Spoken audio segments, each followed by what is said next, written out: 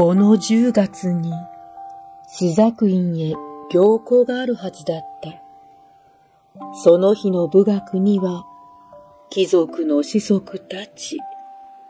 換、天上役人などの中の優秀な人が舞人に選ばれていて、親王方、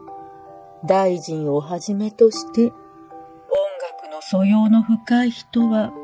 そのために新しい稽古を始めていた。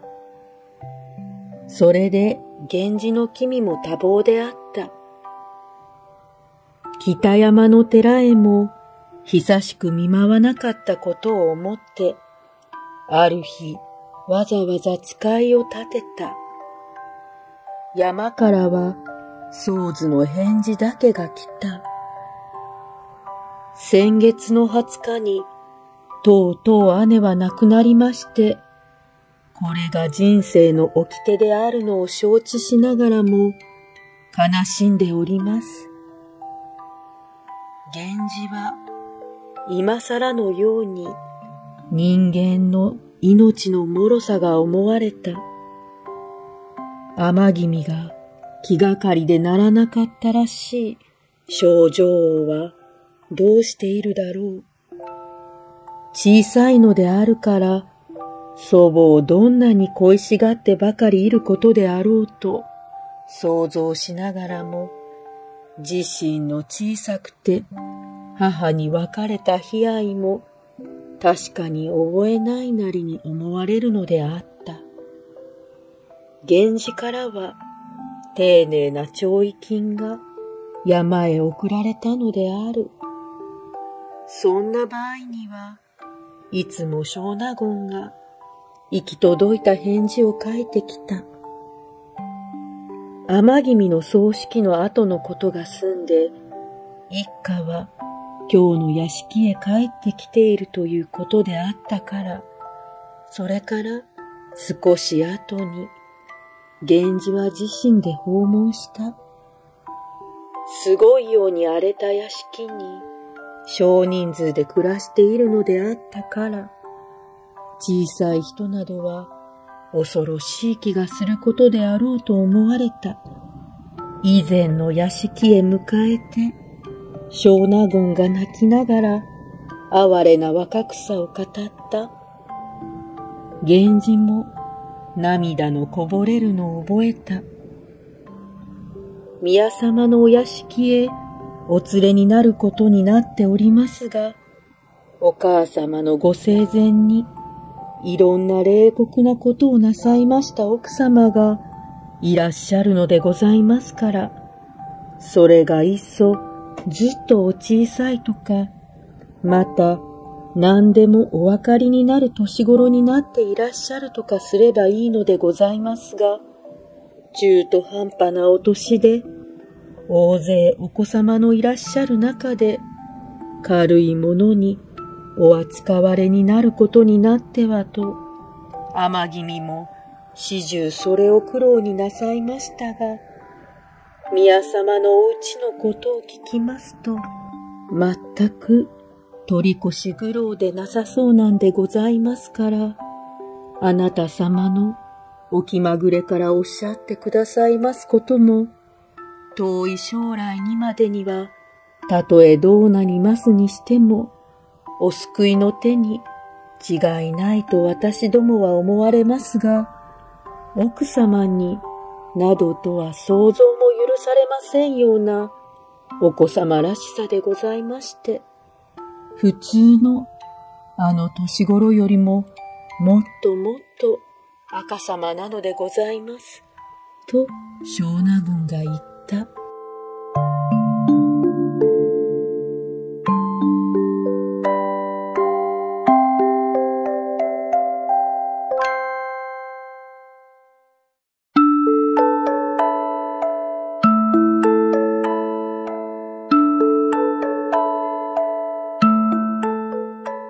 そんなことはどうでもいいじゃありませんか。私が繰り返し繰り返し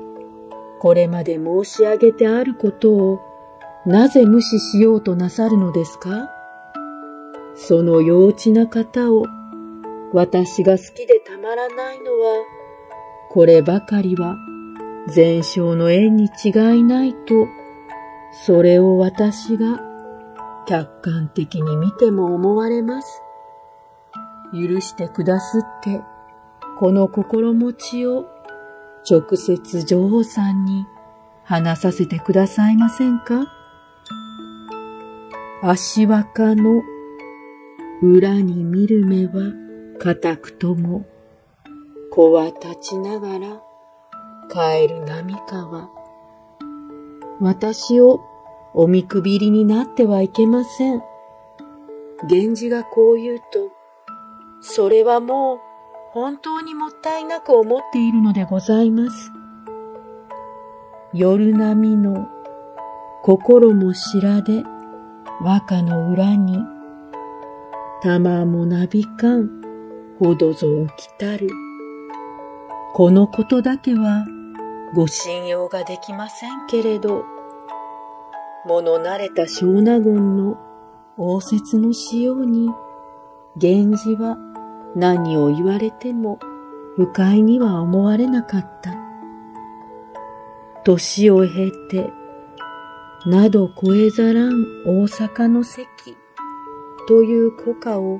口ずさんでいる源氏の美音に、若い女房たちは酔ったような気持ちになっていた。女王は今夜もまた祖母を恋しがって泣いていた時に、遊び相手の目のわらわが、脳死を着た方が来ていらっしゃいますよ。宮様が来ていらっしゃるのでしょう。と言ったので、起きてきて、小納言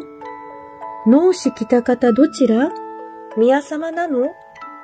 こう言いながら、目のとのそばへ寄ってきた声が可愛かった。これは父宮ではなかったが、やはり深い愛を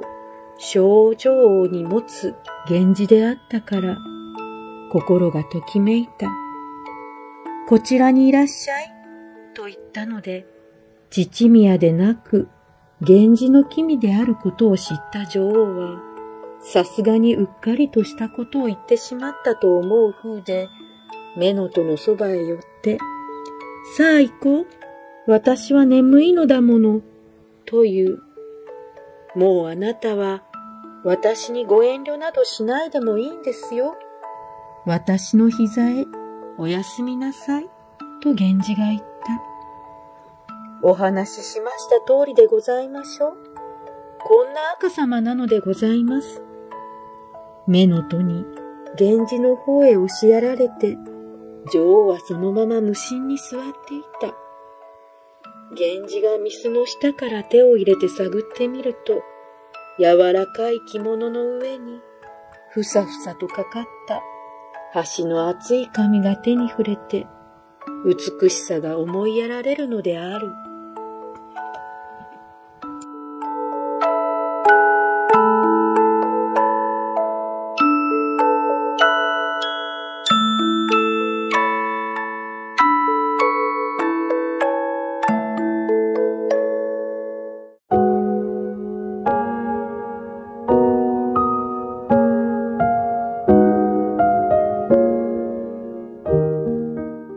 くらなんでも、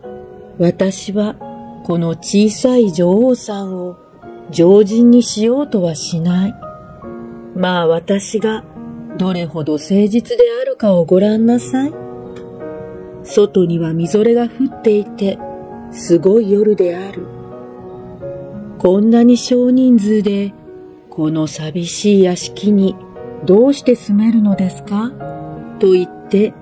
源氏は泣いていた。捨てて帰っていけない気がするのであった。もう戸を下ろしておしまいなさい。怖いような夜だから、私が殿井の男になりましょう。女房方は皆女王さんの室に来てらっしゃい。と言って、慣れたことのように女王さんを長台の中へ抱いて入った。誰も誰も意外なことに呆れていた。メノとは心配しながらも、普通の侵入者を扱うようにはできぬ相手に、短足をしながら控えていた。小さな女王は恐ろしがってどうするのかと震えているので肌も毛穴が立っている。可愛く思う源氏はささやかな異性を一重に巻きくるんでそれだけを隔てに寄り添っていた。この所作が我ながら是認しがたいものとは思いながらも愛情を込めていろいろと話していた。ねえいらっしゃいよ。面白い絵がたくさんある家でおひなさま遊びなんかのよくできる私の家へね。こんな風に小さい人の気に入るような話をしてくれる源氏の柔らかい調子に、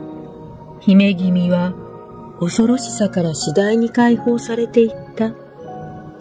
しかし、不気味であることは忘れずに、眠り入ることはなくて、みじろぎしながら寝ていた。この晩は夜通し風が吹き荒れていた。本当にお客様がお泊まりにならなかったら、どんなに私たちは心細かったでしょう。同じことなら、女王様が本当のご結婚のできるお年であればね、などと女房たちは囁いていた。心配でならない目のとは、長台の近くに自していた。風の少し吹き止んだ時は、まだ暗かったが、帰る源氏は本当の恋人のもとを別れていく情景に似ていた。かわいそうな女王さんとこんなに親しくなってしまった以上、私はしばらくの間もこんな家へ置いておくことは気がかりでたまらない。私の始終住んでいるうちへお移ししよう。こんな寂しい生活をばかりしていらっしゃっては、女王さんが神経衰弱におなりになるから、と源氏が言った。宮様もそんなにおっしゃいますが、あちらへおいでになることも、四十九日が済んでからがよろしかろうと存じております。お父様のお屋敷であっても、小さい時から別のところでお育ちになったのだから、私に対するお気持ちと親密さはそう違わないでしょう。今から一緒にいることが将来の触りになるようなことは断じてない。私の愛が根底の深いものになるだけだと思う。と、女王の髪を撫でながら源氏は言って帰り見ながら去った。深く霧に曇った空も縁であって、大地には霜が白かった。本当の恋の忍び歩きにも適した朝の風景であると思うと、源氏は少し物足りなかった。